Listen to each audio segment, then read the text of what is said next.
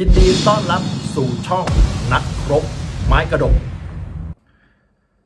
พิธาขออย่าป้ายสีนามสกุลให้ใครหลังเลือกสวผุดคำว่าสวสีส้ม เชื่อส้มในที่นี้คือจุดยืนประชาธิปไตย ย้ำหลักกฎหมายพักการเมืองเอี่ยวไม่ได้ มองจะให้จะได้สภาสูงที่มีคุณภาพ แม้ไม่ใช่เลือกตั้งทางตรงก็ต้องบอกก่อนนะครับว่า วันนี้นะครับวาทกรรมที่บอกว่าวันนี้นะครับคนคนนี้นะเป็นสีนั้นคนคนนี้เป็นสีนี้ ถ้าไม่ได้มีความคิดตรงกับตัวเอง มีความคิดตรงข้ามกับตัวเองนะครับเป็นวาทกรรมที่ใช้กันอยู่ตอนนี้ก็อย่างที่บอกว่า วันนี้สำหรับผมมุมมองว่าวันนี้สวที่เข้าไปในสภาเนี่ยมีหลากหลายนะในกลุ่มนั้นกลุ่มนี้นะครับเข้าไปสำหรับผมมองว่าเป็นผลดีดีฝ่าสสสวนะครับ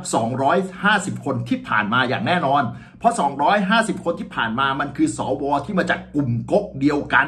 นะครับแต่วันนี้เราได้สวที่มาจากหลายกลุ่มนะครับหลายกลุ่มหลายแนวคิด หลายความคิดที่เอามาอยู่รวมกันนะครับมันจะได้ความคิดที่หลากหลาย ความคิดที่แตกต่างความคิดที่ดี แต่วันนี้นะครับ250 สวที่ผ่านมาที่มันไม่เกิดประโยชน์กับประเทศชาติ ไม่เกิดประโยชน์กับประชาชน เป็นสวที่เลือกมาจากแค่คนคนเดียว อันเนี้ยมันไม่เกิดประโยชน์ของจริง เพราะฉะนั้นวันนี้นะครับจะบอกเขาเป็นสวสีส้มเป็นวสวสีนั้นนะลองคิดดูให้ดีๆคำว่าสีส้มคืออะไรนะครับคำที่ว่าสีส้มคืออะไรประชาธิปไตยเป็นสีส้มเหรอหรือว่าคนที่คิดไม่เหมือนตัวเองเป็นสีนั้นสีนี้ อย่างที่บอกว่าวันนี้ถ้าวันนี้แต่ละคน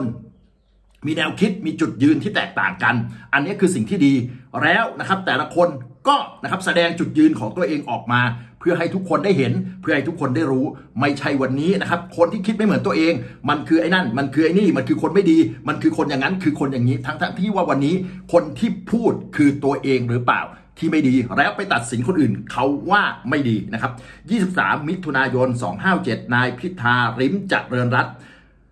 สสแบบบัญชีรายชื่อและประธานที่ปรึกษาหัวหน้าพักก้าวไกล ให้สัมภาษณ์ถึงกรณีมีกระแสข่าวพักการเมืองใหญ่ ซุ่มเก็บตัวผู้ผ่านการเลือกสมาชิกวุฒิสภาหรือว่าสว เพื่อรอการเลือกในระดับประเทศว่า ในการเลือกสวครั้งนี้จริง ๆ แล้วพักการเมืองมีส่วนร่วมมากไม่ได้ตามกฎหมาย แต่ก็มีคณะกรรมาการ พัฒนาการเมืองสภาผู้แทนราษฎร โดยนายพระฤทธิ์วัชรสินทุที่ไปลงสังเกตการหากในทุกระดับที่ผ่านมาและจะใช้กลไกนี้ในการตรวจสอบว่ากระแสข่าวดังกล่าวมีความจริงหรือไม่ แต่ในหลักการตนเชื่อว่าจะได้มาซึ่งสภาสูงที่มีความยึดโยงกับประชาชนมากยิ่งขึ้น แม้จะไม่ได้มาจากการเลือกตั้งโดยตรง ส่วนที่การเลือกสวครั้งนี้นะครับ มีการใช้ keyword สวสีส้มรวมไปถึงนะครับศาสตราจารย์พิเศษ พรเพชร วิชิตชนชัยประธานวุฒิสภา ให้สัมภาษณ์ว่าการเลือกสมาชิกวุฒิสภาครั้งนี้จะมีสวสีส้มเข้ามามาก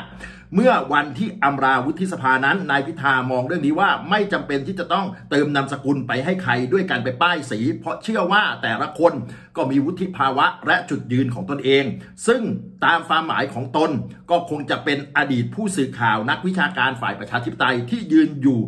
ตรงในเรื่องของประชาธิปไตย แต่ก็ไม่ได้หมายความว่าจะมีนามสกุลเป็นสีส้ม อันนี้คือสิ่งที่เกิดขึ้นนะครับ ก็อย่างที่บอกว่าวันนี้นะครับ คนที่พูดก็ส่วนใหญ่จะเป็นสวที่ประชาชนนะครับอยากจะไล่ออกไปให้ให้ไกลๆ สว 250 คนที่ประชาชนมีความรู้สึกว่าอยู่ก็เปลืองงบเปลืองภาษีของประชาชน เข้ามาก็ไม่ได้ทำประโยชน์ทำประเทศชาติให้กับประชาชนสำหรับผมในฐานะประชาชนคนหนึ่งนะครับ บอกได้เลยครับว่า สว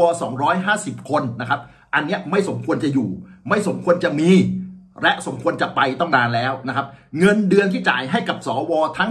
250 คนนะครับสำหรับผมบางคนเนี่ยบอกได้เลยครับว่าสว 250 คน บางคนเนี่ยนะครับ เอาเงินเดือนที่จ่ายไปให้เนี่ย เอาไปซื้ออาหารเลี้ยงหมายังมีประโยชน์มากฝ่าที่จ่ายให้สว